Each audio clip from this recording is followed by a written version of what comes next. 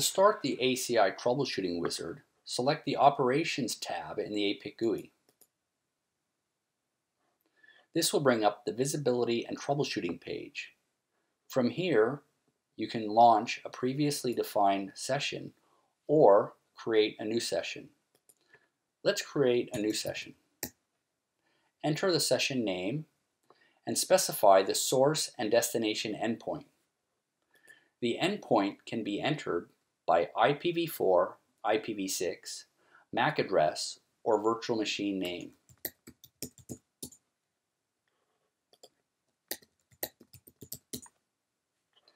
After selecting the source and destination endpoint, you can generate a report which will filter fault, event, and audit logs relevant to only these endpoints. For the previous four hours by default, but can go back as far as 24 hours. You can also display a previously generated report or start a new troubleshooting session. Let's start a new session.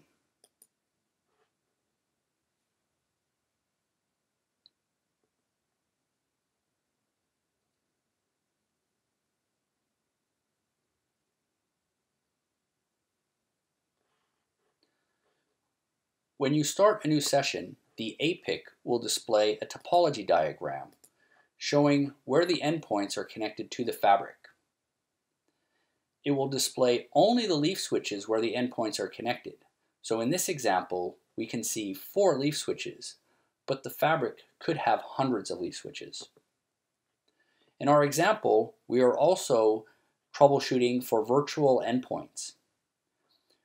When the endpoints are virtual machines, the APIC will also display the hypervisor information, including the IP address of the, of the host, the VM name, and if we click on the endpoint, it will display additional information about the VM.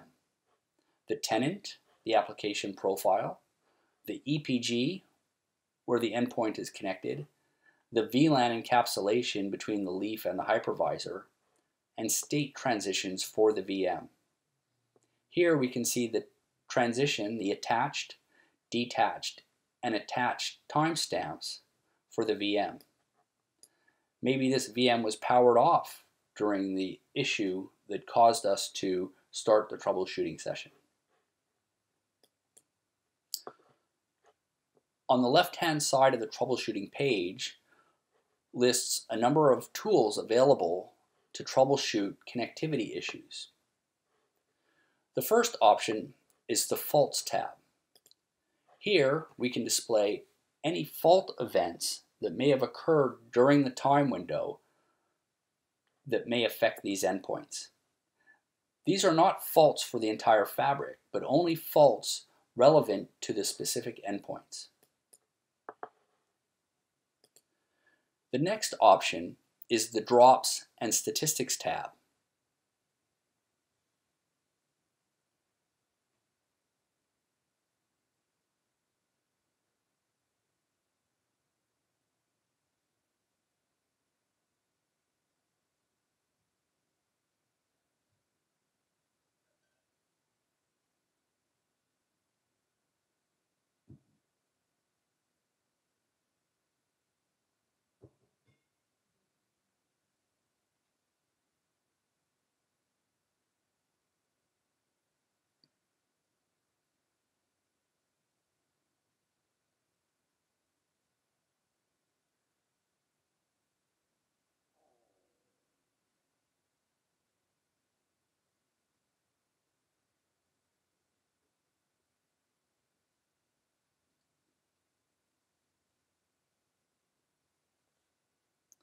This displays all drop counters on the leaf and spine switches where traffic between the endpoints may traverse.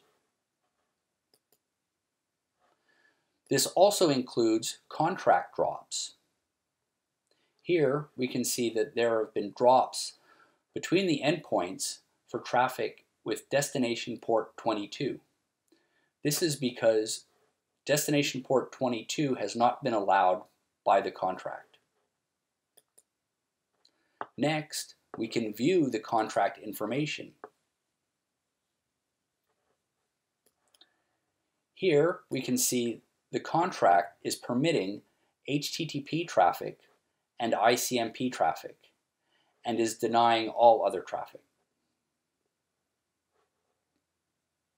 Next, we can view events and audits.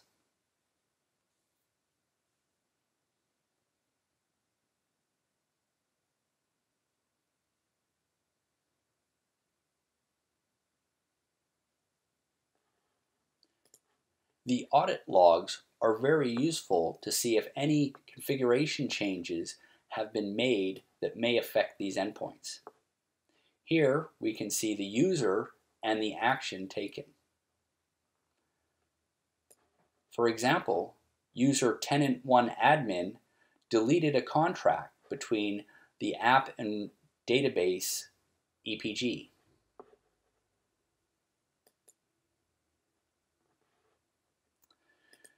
The next tool is the traceroute utility. This is different than standard traceroute. The traceroute utility allows you to specify a layer 4 port for UDP or TCP. Here, we'll run a TCP port 80 traceroute.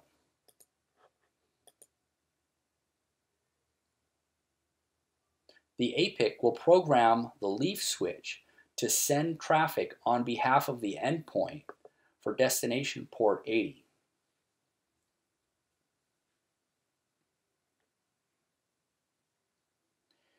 Here we can see the traffic is showing green, which means the traffic is permitted across the fabric from the source endpoint to the destination endpoint for port 80.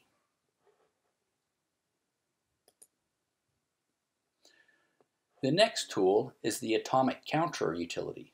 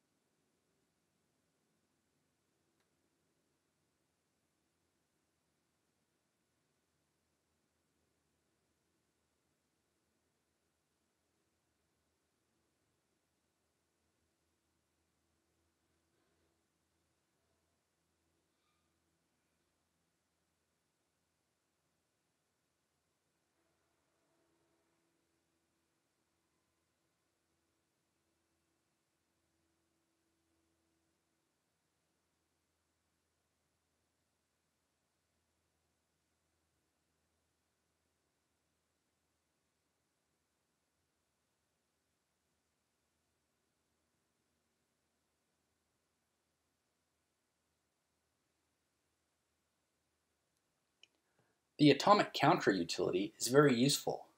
It will display packet counts for traffic between the endpoint groups across the fabric. Here we can see that we've been transmitting and receiving packets between these endpoints across the fabric and will display any drops that have occurred in the fabric for these endpoints. ACI 3.0 O will also include the ability to view latency information for traffic across the fabric between the endpoints. Finally, we have a span utility. This allows us to create an on-demand ER span session and capture traffic sent between the endpoints in real time. Here, we can specify a destination endpoint group application profile and EPG where the span destination is connected. Enter the span destination IP address and a source prefix for the span traffic.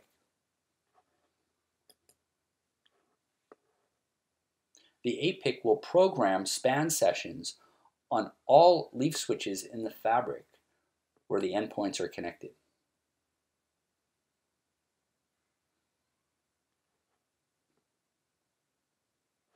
Let's check our span host.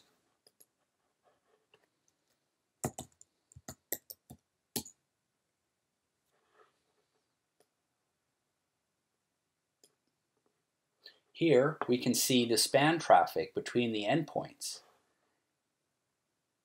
Our endpoints are sending pings between the two endpoints.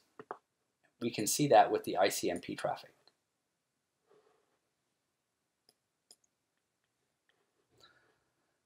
I hope you found this information useful. Thank you.